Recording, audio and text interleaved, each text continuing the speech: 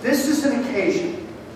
And it's an occasion not just because the bishop's present. It's actually an occasion because of the commitments that are being made by these people that you see here, see here, both from this church as well as from the Church of St. John the Baptist in Orlando. And St. John's delegation, I'm very glad that you're here with us. Welcome very much. I, uh, they're making what I think are courageous commitments.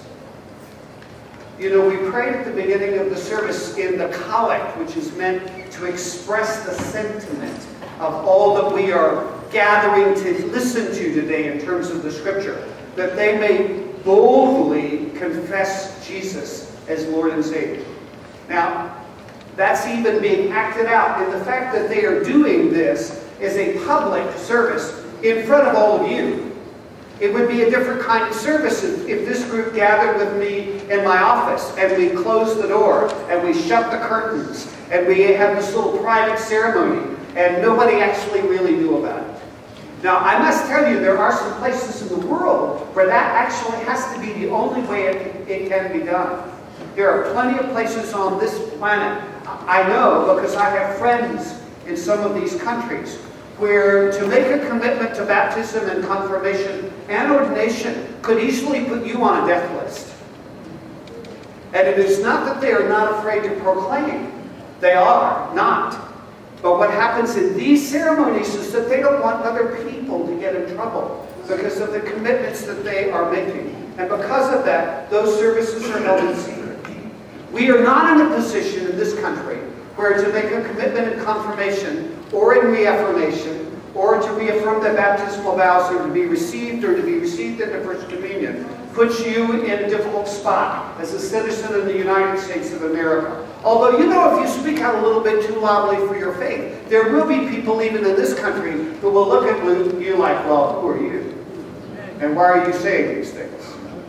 And so, because that's the case, they are making a commitment to be courageous even in the face of difficulty. Even in the face of difficulty.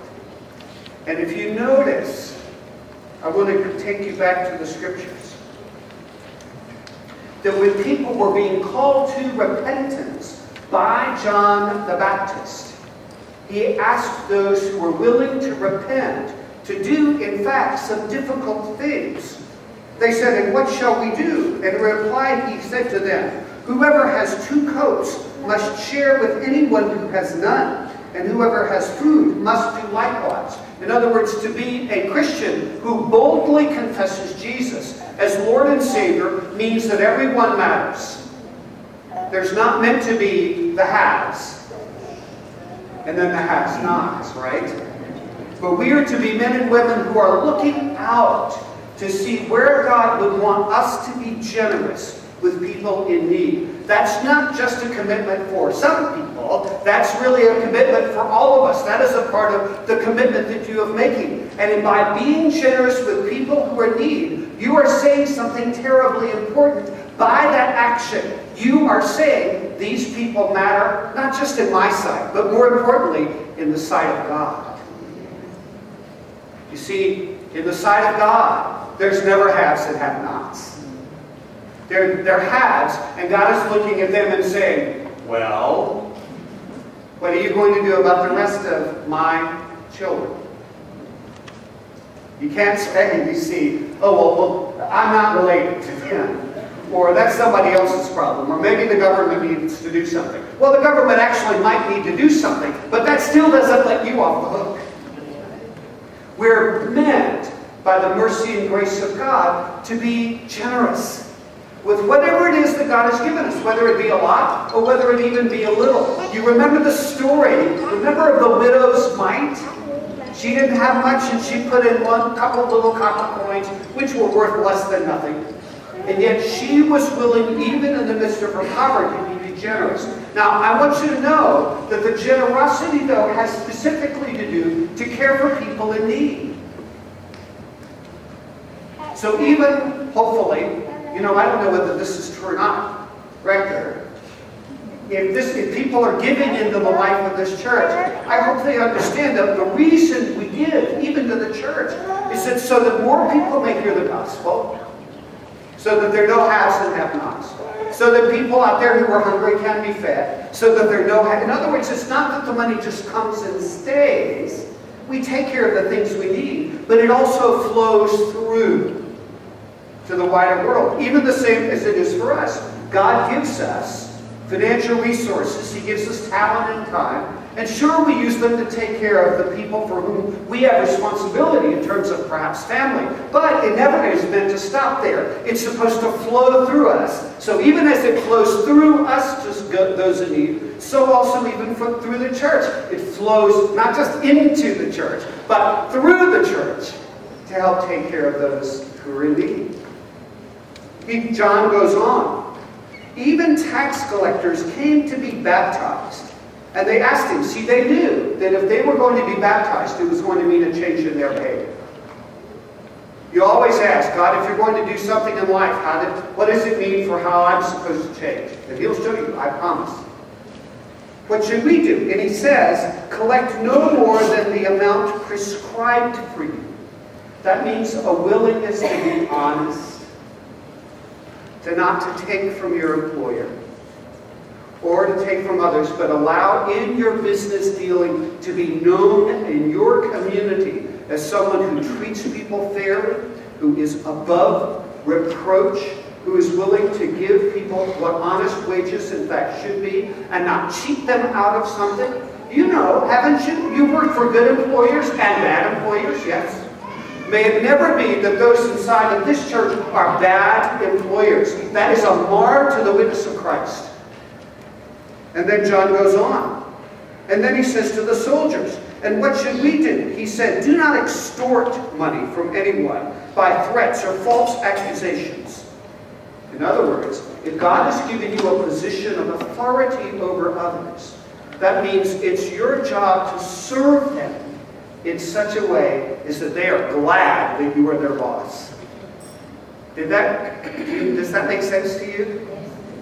even you see here as a bishop, if, if my clergy are not saying, we're so glad he's our bishop. He shows up when we're in need. I can go to him and talk to him about the things that are happening. And I know that he will make the time and listen. Ooh, haven't you heard of pastors and clergy and what's said about them? You know, they really don't care about anything unless it's money. Then they'll come and talk to you. That is not what we are to be about. You see, I've been placed in a position of responsibility, and I am accountable before God. Not just before others, but before God about how it is that I exercise this responsibility. Same is true for us. No matter who we are, whether we're talking about our responsibility as a parent, in terms of how we deal with our children, whether we're talking about who we are as someone who has people who work, work for us, or people who volunteer with us, regardless of our station or responsibility, the word of the soldiers is God's word to us to be fair, to be honest, to be kind in dealing with. Because that's a part of the calling of what it means to be a witness for Christ. And it's tough. I know a man, for example, who was actually who was a, worked for a finance company and he was fired from his job. Why was he fired from his job? Because his boss asked him to do something dishonest with the accountant in a way that would cause the company to make a little bit more money from their client. And he said, oh, I can't do that. I can't. That's unfair to the client. I would never do that. He lost his job. It does happen. And so a part of even the commitment that these people are making, and that you have already made if you have been baptized and confirmed, is that you're not going to cut corners and skirt around the edges for the sake of job security, even though you may be tempted to. Because I'm accountable before God for how I exercise the authority that God has given me. And that's true for each one of us. So a call to generosity, a call to willingness to take responsibly what it is that God has given us, to treat people fairly and well, to be kind to others, to be known as people who don't cheat, who are generous in their giving. All of that is implied by what it means for these people to make these very commitments. You see, you can read the Bible every day, you can come to church every Sunday, but if you don't do those things, do you think God cares? The behavior matters to God, you see. The behavior really matters to God. Because you see, since in God's eyes there are no haves and have-nots, that means that you're not in some kind of special place that lets you off for bad behavior if you're a Christian. Oh, because you're baptized and you belong to me, you can do whatever you want. I don't think so. No, because just the opposite is true. We are called to a deeper place of servanthood precisely because we are Christians. And so we ask the hard questions of ourselves and we help one another. Because quite honestly, we can get in dilemmas because of these commitments. And we need, I need somebody to help me think this through. I need somebody to pray for this because I'm in a tough spot. And if I'm going to stay, if I'm going to stay in a position to be committed to Christ, I might lose some of my business, or I might have people walk away from me who are my friends. It's not easy, and it's not meant to be. Did you hear that? It's not meant be. We're willing, we're saying, in essence, as Christians, we're willing to pay a price. So, that is why, whether we, it be in confirmation, or even in the prayers that we sang about the coming of the Holy Spirit, we're saying, I need God's help to do this. Because even though I want to be courageous, I want to confess to you, God, that there really is a part of me who just wants to be quiet and fit in. Doesn't want to stir up any kind of trouble. I don't want anybody to somehow think not so well of me. I, I don't know that I have the courage to stand out. Sounds like a great idea, but I, that's not the kind of person I am. And so we need God's Holy Spirit to come and to do something inside of us in us that we cannot do for ourselves. Jesus, John the Baptist said that when Jesus comes, what will he do? He will baptize with the Holy Spirit and with fire. Holy Spirit meaning God empowering us to do things that we can never do on our own. And fire meaning he's coming to purge and to cleanse out of us, whether it's the fear, whether it's the sin, whether it's the cowardice, all of us have places where we need to be purged, right? Nod your head. Don't just sit there and say, oh, I wish so-and-so were here to hear this. so all of us have places where we need to be purged. And you see, that's what Jesus is promising, that that is what the Holy Spirit will do. That's what the fire is all about.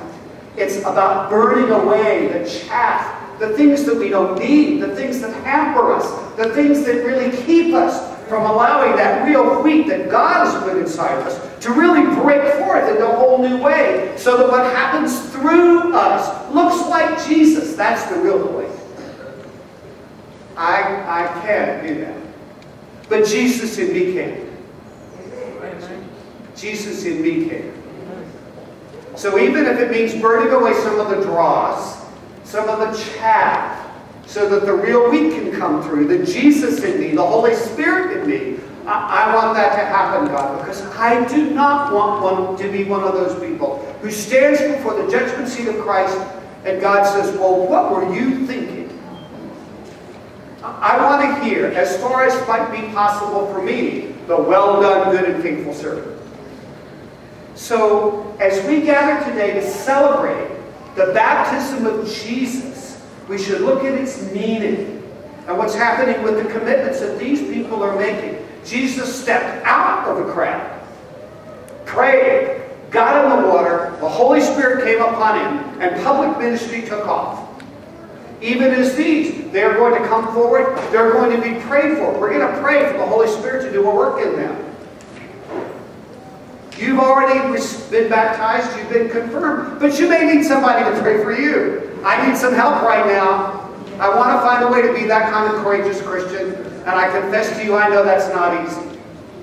But if we are called to, what's the word? Boldly? Say boldly. Boldly. That should characterize what God is doing in us. What is He doing? He is making me bold. So today, this is Commitment Day.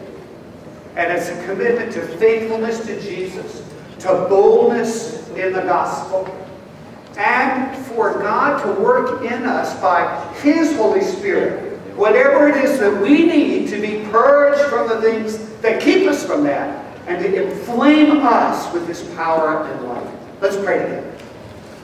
Gracious Lord, I thank you that we are yours and that you love us dearly.